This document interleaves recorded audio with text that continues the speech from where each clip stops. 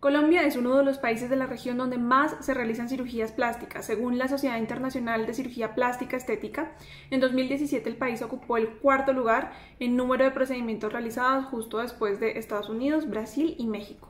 Lamentablemente esa demanda está siendo atendida no solamente por personas certificadas, sino por inescrupulosos que se aprovechan de la desinformación y engañan a pacientes para ofrecerles procedimientos estéticos aun cuando no cuentan con una formación académica formal.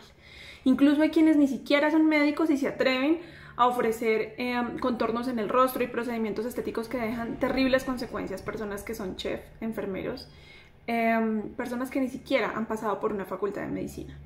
Los hombres también se someten a procedimientos estéticos, sin embargo las mujeres acuden en mayor proporción. Las consecuencias que pueden cargar en su cuerpo cuando caen en manos equivocadas pueden ser mortales. Tan solo entre 2015 y 2016 aumentaron un 130% las muertes asociadas a procedimientos estéticos según medicina legal. Sin embargo, podría haber un subregistro muy grande.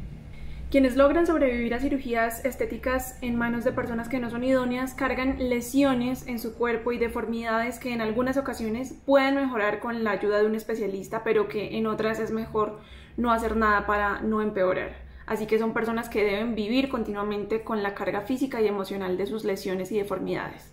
Pezones mutilados, quemaduras en el abdomen, deformidades en los glúteos y en el rostro por la inyección de alguna sustancia prohibida son algunas de las consecuencias más dolorosas de caer en las manos equivocadas a la hora de hacerse un procedimiento estético. El problema ha avanzado tanto porque no hemos logrado resolver tres puntos fundamentales. El primero, falta de control del Estado que no ha sido capaz de ponerle un freno a las clínicas de garaje.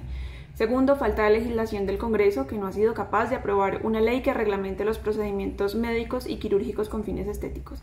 Y tercero, la falta de prevención del paciente, porque todavía hay muchas personas que eligen a su cirujano plástico o a la persona que les va a realizar un procedimiento estético de acuerdo a la cantidad de seguidores que tiene en Instagram.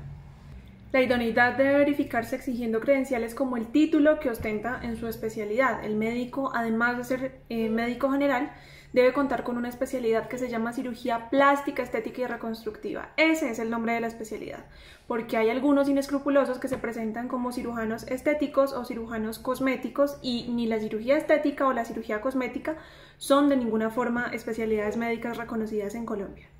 Si no es una cirugía plástica, sino un procedimiento estético, lo que busca el paciente como rellenos faciales, eh, tratamientos de moldear el volumen del cuerpo con aparatos, con temas de láser, por ejemplo, lo que debe exigir es que quien lo haga sea un médico que además de ser médico general tenga una especialidad en medicina estética, que no es lo mismo que cirugía estética, eh, también dermatología o cirugía plástica, estética y reconstructiva. ¿Por qué no realizamos este tipo de procedimientos? Yo creo que las mujeres somos libres de modificar nuestro cuerpo como queramos. Siempre voy a defender esa autonomía sobre nuestro propio cuerpo.